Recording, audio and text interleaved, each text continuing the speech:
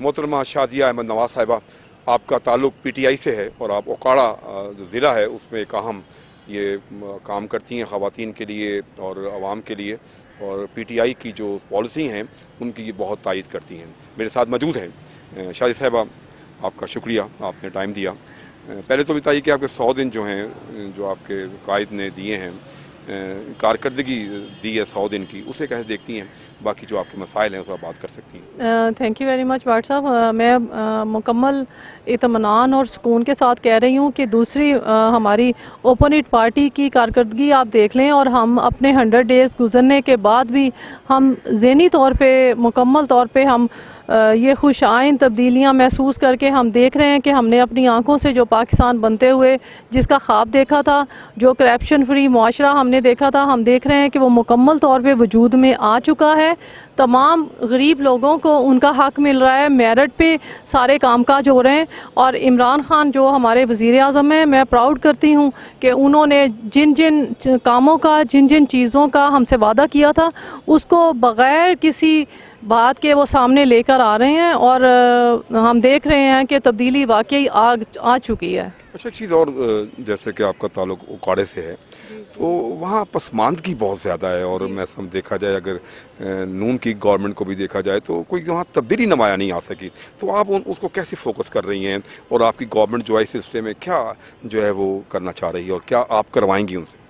جی انشاءاللہ اللہ تعالی آپ دیکھیں جس طرح سے باقی تمام ڈپارٹمنٹس میں تبدیلی آ چکی ہے، اسی طریقے سے ہم پر امید ہیں لیکن شاید اکاڑے کی طرف ہم توجہ مبزول کرانے میں کچھ ناکام ہو چکے ہیں، کیونکہ وہاں پہ اب آپ دیکھ لیں کہ میرا بھی، میں پچھلے تیرہ سال سے پی ٹی آئی کے لیے کام کر رہی ہوں، ایم پی اے کی لسٹ سے بڑی آسانی سے میرا نام نکال دیا گیا، مجھے ٹکٹ نہیں دیا گیا میجر احمد کو ٹکٹ نہیں دیا گیا، لیکن اس کے باوجود بھی ہم اپنا کیونکہ ہمارا مقصد تو پارٹی کے لیے کام کرنا ہے۔ ہمارا مقصد اپنے بچوں کو ایک اچھا مستقبل دینا ہے۔ ہمارا مقصد ہمارے ہمارے لیڈر کی آواز پہ لبیک کہنا ہے۔ ہم باقی لوگوں کو جس طرح سے دیکھ رہے ہیں، اس طرح سے میں دیکھتی ہوں کہ وہاں پہ باقی M P as, M N as جو ٹکٹوں کی غلط تقسیم ہونے کی وجہ سے جو دوسری پارٹیز چھوڑ کے آئے تھے، وہ لوگ جب پارٹی میں انہوں نے اچانک شمولیت اختیار کی ہے، اس کی وجہ سے اکاڑا رنالا دیپال پور اور پاک پتن وغیرہ جیسے شہروں کو مکمل طور پہ بہت بہت بری نہیں، لیکن بس شکست کھانا پڑی، جس کا ہمیں بہت زیادہ افسوس ہے۔ یہی وجہ ہے کہ وہاں پہ نون لیگ کی گریپ زیادہ تھی اور وہ لوگ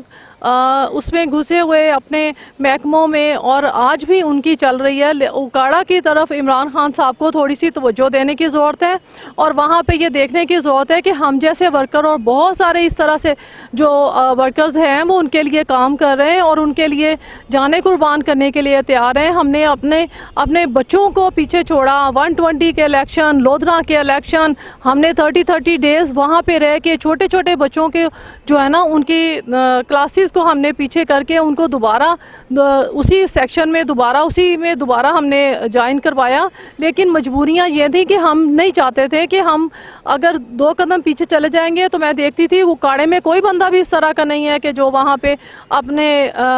قائد کے ساتھ اس کے شانہ بشانہ کھڑا ہو کے چل سکے۔ میں نے اخباروں کے ذریعے میں رائٹر بھی ہوں پوئٹ ہوں اور میری چوتھی کتاب آ رہی ہے۔ میں کالم بھی لکھتی ہوں اور میں نے تقریباً یہ پورا ہماری ساری بیلٹ گواہ ہے کہ جس طرح سے میں نے نون لیگ کے کرپشن کو اور جس طرح سے اس کو عمران خان کو جس طرح سے میں نے پرومنیٹ کیا، جس طرح سے ان کی کارکردگی کو پرومنیٹ کیا اور باقاعدہ طور پہ مجھے